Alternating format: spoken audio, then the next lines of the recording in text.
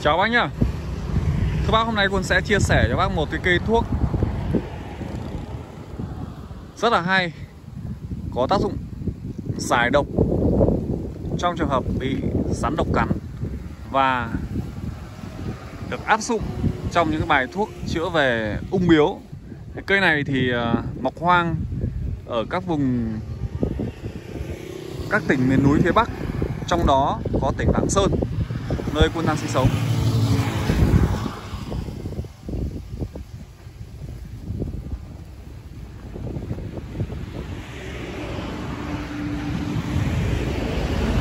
Các bác có nhìn thấy cây mà cái tà ly Chỗ tà ly người ta à, cuốc đường xuống.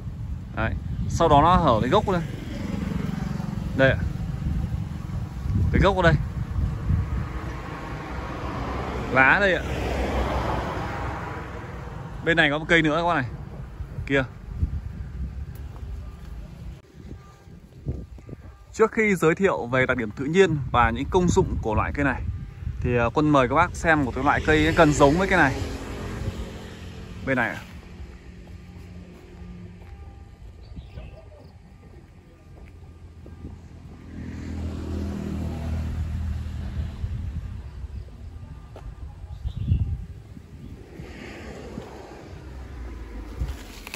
Đây bác. Cây này khá giống với cây hôm nay Quân định giới thiệu cho bác. Cây này bản lá nó to hơn. Đấy. Lá to bằng bàn tay này các bác này. Đấy. Khi nhấm cái lá này nó vị là chua và đắng. Đấy. Bẻ cành rất là dễ. Khá là mềm đấy Cây này ở trên vùng quân, người ta gọi là cây dâu đất. Và đây là cái loại lá to. Cái Cây này dùng để chữa trong hợp trâu bò bị rắn cắn. Đấy. Khi trâu bò bị rắn cắn thì kinh nghiệm vùng cao Người ta dùng cái lá cây này Giã nát. Đấy, cho thêm ít nước cốt Và lấy cái nước cốt đó Bơm thẳng vào miệng Của trâu Của bò. Còn cái bã của lá cây này sẽ đem đắp trực tiếp lên vết thương. Đấy là công dụng để chữa rắn độc cắn đối với trâu và bò còn cái cây ờ, quân giới thiệu cho bác hôm nay. Cây này chính là cây dâu đất lá nhỏ. Đấy, nó chỉ khác so với cây này. Cây này lá to hơn, còn cây kia lá nó sẽ nhỏ hơn.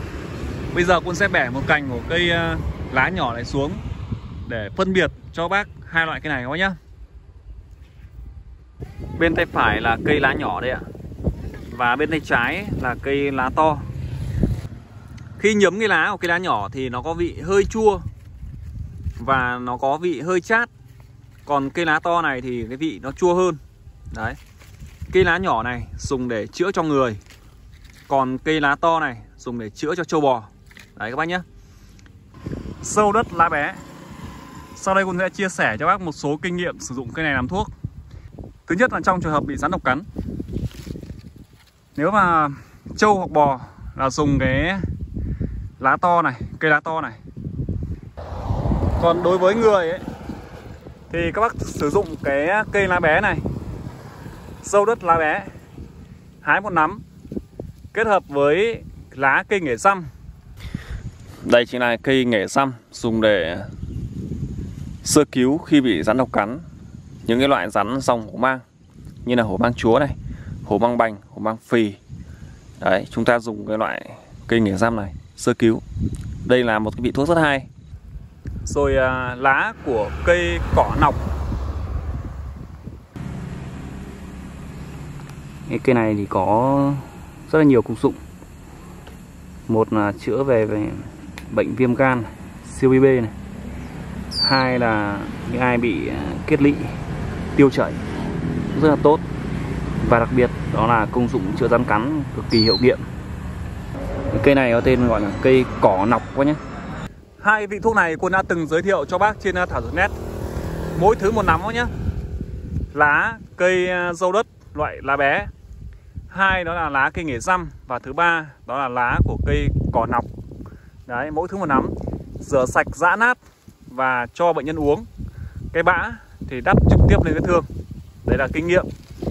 Đầu tiên, trong trường hợp bị rắn độc cắn lợi dụng cái tác dụng giải độc tiêu viêm của cây thuốc này để người ta phối hợp với các vị thuốc khác trong các bài thuốc về ung biếu.